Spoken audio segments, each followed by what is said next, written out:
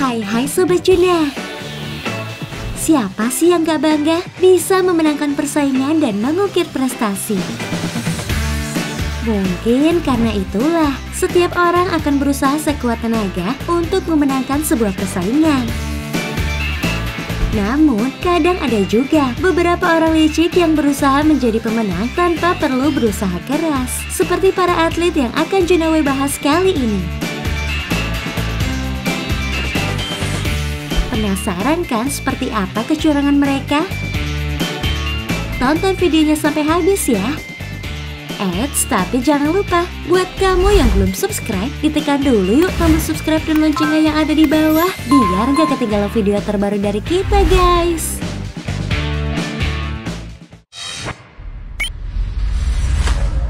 Pembalap sepeda Modifikasi sepeda boleh-boleh aja ya guys, tapi jangan ya kalau memodifikasi demi sebuah kecurangan dalam perlombaan. Nah, seperti wanita yang satu ini nih, mantan atlet sepeda Femke van den Dreschi melakukan kecurangan dengan mengubah mesin dengan motor percepatan guys. Jadi, sebuah mesin tersembunyi ditemukan di sepeda yang digunakan oleh pengendara sepeda asal Belgia ini di kejuaraan dunia cyclocross. Esta bicicleta y al parecer en esta bicicleta han encontrado un motor. Ella ha hablado hoy por primera vez. Saat sepeda di kayu, dia akan mengeluarkan tenaga yang lebih cepat dan ringan guys. 27.08.96 en zij heeft Waduh, bisa-bisa menang terus ya guys. Eigenlijk kunt vermijden door vooraan te zitten van het begin van, van, van de koers. hier aan de kop Dwight Howard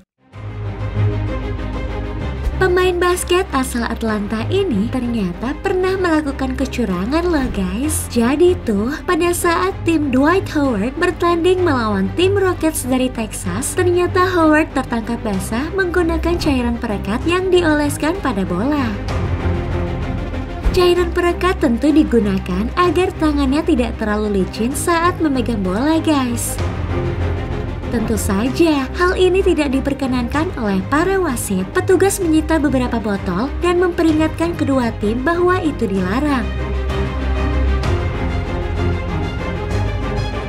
Setelah itu, Howard mengakui bahwa dia menggunakan produk perekat setiap pertandingan guys. Tapi, dirinya menyangkal bahwa itu bukan masalah besar. Namun, Liga menekankan bahwa penggunaan zat perekat tidak diperbolehkan selama pertandingan. Dan akhirnya, Howard didenda guys.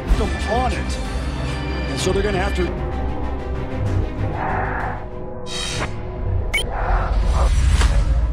Badminton Atlet badminton Cina, Yu Yang, mengundurkan diri dari olahraga bulu tangkis setelah dikeluarkan dari pertandingan Olimpiade karena berbuat curang saat bertanding melawan pasangan Korea Selatan. Yu Yang berpasangan dengan Wang Xiaoli saat menghadapi ganda putri Korea Selatan Chung Kyung An dan Kim Hana pada laga di grup A di Stadion Wembley. Pasangan Cina sengaja mengalah untuk menghindari pertemuan dengan lawan tertentu. Waduh, ini sih cemen ya guys. Tapi ternyata selain Yu Yang dan pasangan Wang Xiaoli, pasangan Korea Selatan Chung Kyun An dan Kim Hana, serta Ha Jung An dan Kim Min Chung, termasuk pasangan dari Indonesia Gracia Poli dan Meliana Jauhari mendapat sanksi dari panitia alias didiskualifikasi.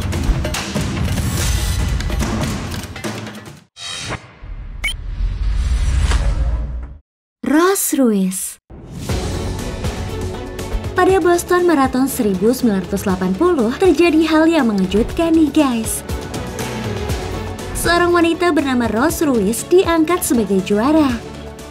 Hal yang mengejutkan adalah dia menuntaskan lomba dengan catatan waktu yang jauh lebih singkat dibandingkan sebelumnya. Selisihnya sampai 20 menit loh.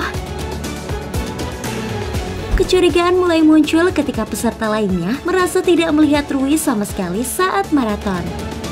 Ketika sampai garis finish pun, ia tak terlihat berkeringat seperti peserta lainnya.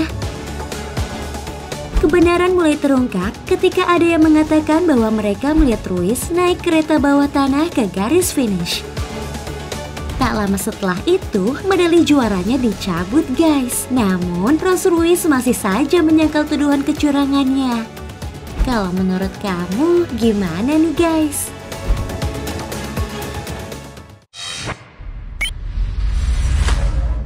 Tom William Kali ini beralih ke tahun 2009 ya guys. Saat itu tim rugby Harley Quinns bertanding melawan Leinster di babak perempat final. Tom Williams, pemain Harley Quinn, harus dibawa keluar lapangan karena mulutnya berdarah-darah meskipun gak kelihatan ada luka. Ya, ini sih semacam trik ya agar pemain masuk lapangan guys. Akhirnya, Nick Evans yang merupakan kicker terbaik masuk menggantikannya dan kebenarannya pun terungkap. Ternyata Tom Williams sama sekali nggak cedera. Ia mengambil sebuah kapsul darah di kaos kakinya pada menit ke-69 lalu menggigitnya dan pura-pura terluka. Ini dilakukan agar timnya bisa ganti pemain. Bahkan, dokter timnya diminta melukai bibir William agar kelihatan terluka beneran. Meskipun dalam pertandingan tersebut tim Tom William tetap kalah, tapi direktur tim Harley Quinns akhirnya dilarang terlibat dalam rugby selama tiga tahun dan harus membayar denda. Sementara Tom Williams dilarang bermain selama 12 bulan.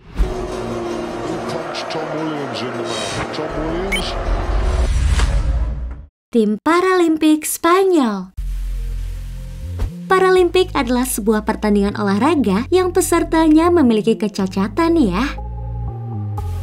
Tahun 2000, tim basket Paralimpik Spanyol dengan kategori cacat mental berhasil menjadi pemenang. Tapi seorang jurnalis menyelidiki para pemain dan ternyata tim Spanyol tidak menjalani tes yang diperlukan untuk dinyatakan cacat mental.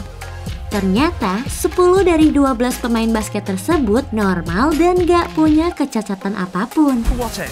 It appears that by entering the intellectually disabled competition rather than the Olympic Games itself, Komite Paralimpik Spanyol pun sengaja tidak menjalankan tes tersebut. As a disabled person for the Olympic Games,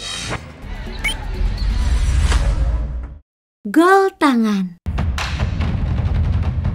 Kalau kejadian yang satu ini, apa kamu udah pernah dengar guys? Mungkin generasi 90-an ada yang tahu nih. Yaps, kejadian ini sudah menempel pada legenda sepak bola Argentina Diego Maradona.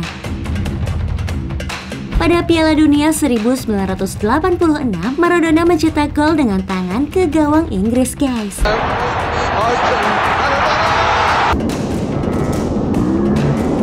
Pada tayangan ulang, sudah jelas-jelas bola mengenai tangannya. Namun, wasit yang tidak melihat gerakan Maradona dan memutuskan untuk mengesahkan gol tersebut. Akhirnya, pertandingan berakhir dengan skor 2-1 untuk kemenangan Argentina.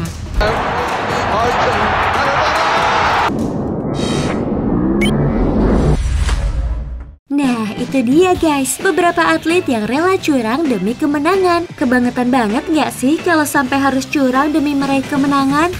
Karena itu justru membuktikan sikap pengecut dan lemah ya. Kemenangan yang dicapai juga nggak berarti karena bukan dari usaha sendiri. Kamu jangan ikutan curang ya guys. Oh iya, jangan lupa untuk like dan share video ini ke teman-teman kamu semua. Terima kasih.